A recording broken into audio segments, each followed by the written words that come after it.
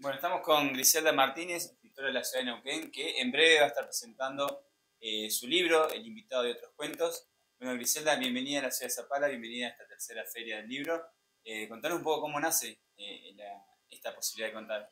Bueno, muchas gracias, eh, un gusto, un placer estar en esta feria que está cada vez más linda y este año me parece que tiene una particularidad aún más cálida por lo que me estuvo contando María José, así que bueno, eh, muy, muy feliz de estar presente con este libro que es especial para mí, como me estás preguntando, eh, porque es El invitado y otros cuentos.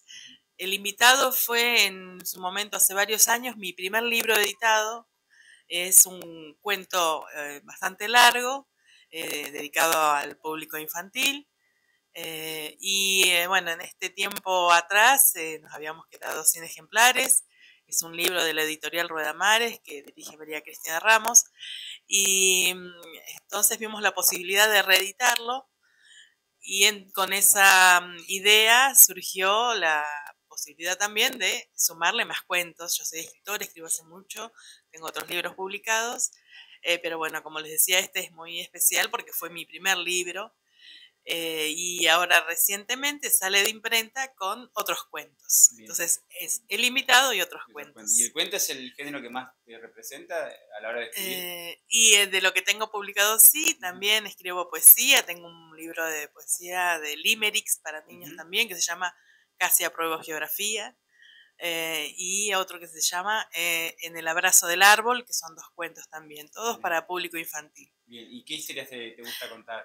Y eh, es, eh, uno va viendo así el caminito realizado en la escritura y bueno, es, inevitable pensar que lo que voy construyendo tiene que ver con mi vida, con lo que yo busco este, desde, eh, para mi vida, desde lo profesional y desde lo que elijo hacer y defender. Y bueno, el contacto con, eh, la palabra en relación al crecimiento, a las infancias, siempre está presente. Entonces, desde siempre he hecho talleres de lectura y de escritura para niños y niñas. He trabajado en escuelas y en instituciones, eh, dando talleres literarios. Y sobre todo lo que tiene que ver con con ver a los niños y las niñas en ese, en ese quehacer de, de descubrir y de disfrutar la palabra, la escritura y la lectura, eh, me parece que tiene su semilla en luego mi escritura.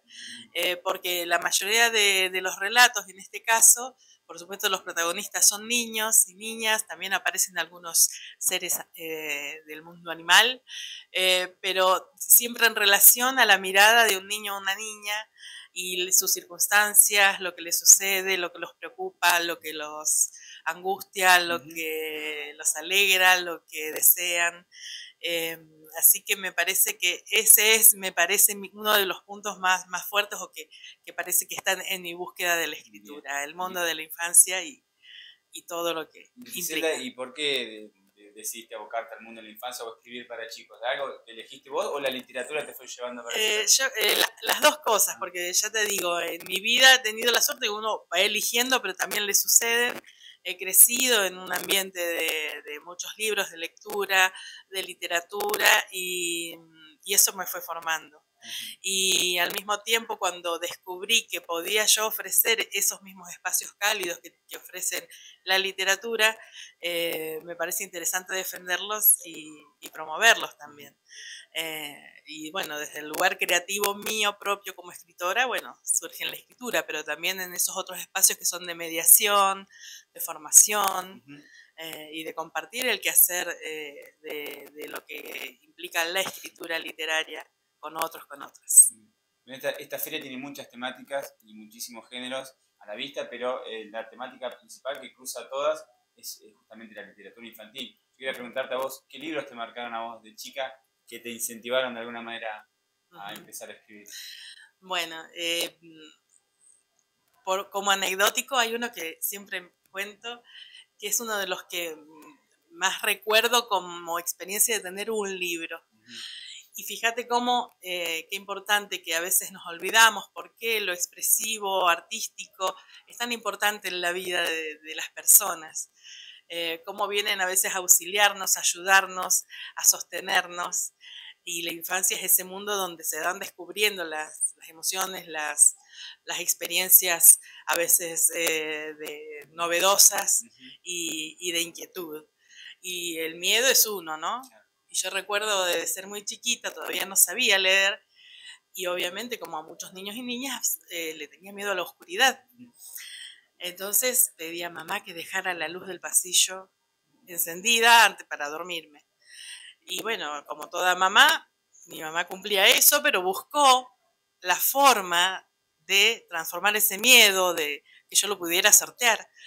Y un día me trajo un libro, y ese libro fue La niña que iluminó la noche de Ray Bradbury, gran escritor de ciencia ficción, ¿no?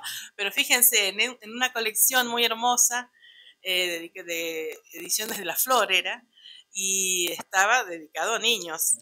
Y ese cuento me marcó muchísimo, me encantó porque, bueno, es, fue el al que me aferré y pude superar eso de, eh, de temerle a la oscuridad, como ejemplo, ¿no? Pero ya te digo, yo estaba en un entorno de mucha lectura, de que había muchos libros en casa y, de escuchar y querer escuchar y después querer aprender a leer para leer yo solita. Entonces, eh, em, es como que, yo crecí con, ese deseo y con, con la suerte de tener los libros a la mano, ¿no? Y lectores y lectoras.